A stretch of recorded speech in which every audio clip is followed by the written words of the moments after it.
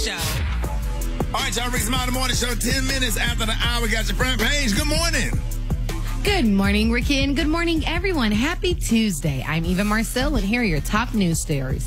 So, about Three out of four Americans will soon be staying at home. Arizona, Maryland, and Virginia were the latest states to issue a shelter in place order due to the coronavirus outbreak. As of late yesterday, there are more than 770,000 coronavirus cases worldwide, and 20% of those are right here in the U.S. That's 157,000 people. President Trump says that there are plenty of coronavirus test kits for Americans, but governors of at least three states says that that is in fact not the case. When pressed about the issue, Trump lashed out at reporters. Very typical.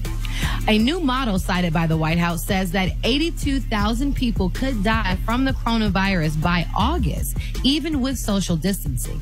The current number of deaths is over 4,700 right now. And today is Equal Pay Day. March 31st marks how far into a year a woman must work in order to earn what men earned the previous year. Hmm. Alrighty, that was a quick look at your headline news. For more on what's trending, log on to the Rickey Smiley Morning Show.com. Rock-T, what's popping in sports, my brother? What's going on, Eva? I'm about to told ya. NCAA approves extra year of eligibility for all student athletes in spring sports whose seasons were canceled because of the coronavirus pandemic. This includes baseball, softball, tennis, golf, outdoor track and field, lacrosse, and volleyball. Uh, shout out to Shaq, man. Big Shaquille O'Neal. He addresses his appearance on the Netflix Tiger King documentary series, uh, Oklahoma Ranch, owned by a guy named Joe Exotic, who was sentenced to 22 years in prison after being found guilty of multiple charges, including murder, plot for hire, and uh, illegal selling of tiger cubs. Shaq pretty much said, listen, yeah, I did visit because he loves white tigers and he donated money to help feed those tigers. But he's not friends with Joe Exotic. He stopped going to the ranch when he found out all this best, all this stuff was going on, and that was that. It is what it is. Last but not least, man, don't forget to continue to vote for your favorite breakfast cereals. First round matchups is going down right now for Munch Madness Tournament of Champions.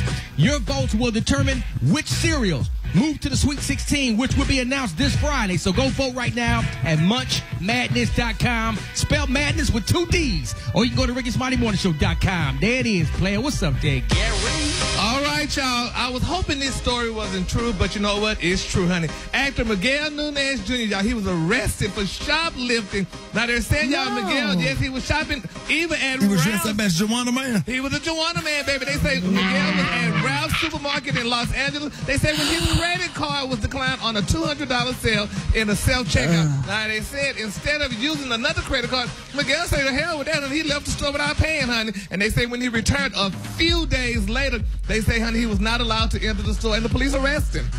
They put no, him in jail. Gary. Yes, yes, they said they said that the LAPD, honey, are not arresting anyone for minor offenses during the corona pandemic, but they said Miguel was given a citation and allowed to leave. They say it's still considered as an arrest. Now, is it that bad? I mean, that people. You, you know, can't said, still fool Gary. You can't. But he said the that. line was too long. He said even the line was too long and he wasn't waiting. Yeah, so that, all that coronavirus uh, going around or whatever. I walked out the grocery store too. I ain't even have no bags. I'll pay him today though.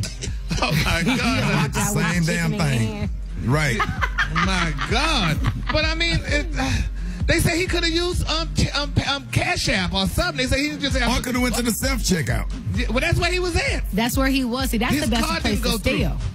That's yeah, the best place to steal is in Oh, no, them machines won't let you. You, oh, you, have won't. a, you have a better chance walking out of there with the cashier, but them doggone machines, they'll say, hey, put it in the item. That's it right. in the bag. yes, they do. Put that item in the bag. They, they will not let, Oh, I didn't try that. Me buddy. too.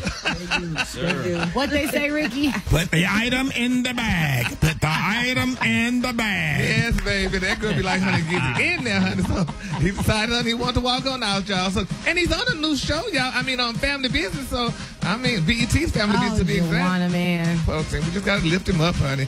All right, y'all. The color today, honey, is one of my favorite spring colors. My color today, y'all, is fresh air. On the high end, you say fresh air, and on the low, you say beautiful light blue. That's your color for today, y'all. And up next, honey, Brad got your hot spot. Up next, y'all, on Rickey Smiley Morning Show.